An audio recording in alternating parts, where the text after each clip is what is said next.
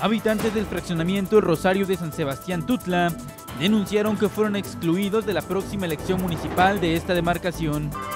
Habitantes de San Sebastián Nopalera liberaron al visitador de la Defensoría de los Derechos Humanos, Juan Rodríguez Ramos, pero mantienen retenidas a otras cuatro personas.